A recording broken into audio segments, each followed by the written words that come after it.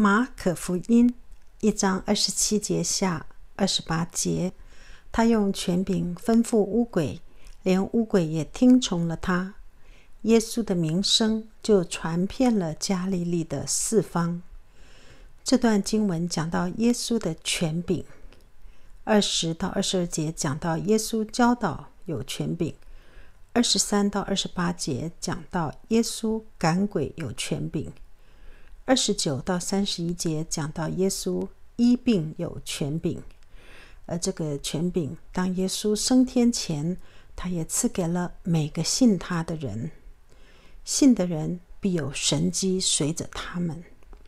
在今天这节经文告诉我们，耶稣用权柄赶鬼，连乌鬼也听从了他。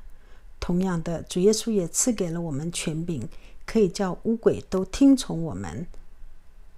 邪灵五鬼的工作，并不是只有看得见的鬼附，他其实透过在人的心思意念里在工作，是更普遍、更厉害的手段。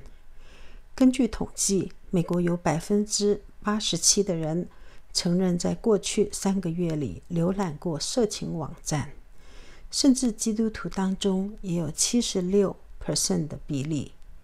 由此可见，色情影片、色情网站带给人有多大的影响。魔鬼把电子游戏、自由派的思想、淫乱等等。借着媒体无孔不入地渗透到人的思想里，造成今天的社会如此的淫乱、污秽、暴力、凶杀。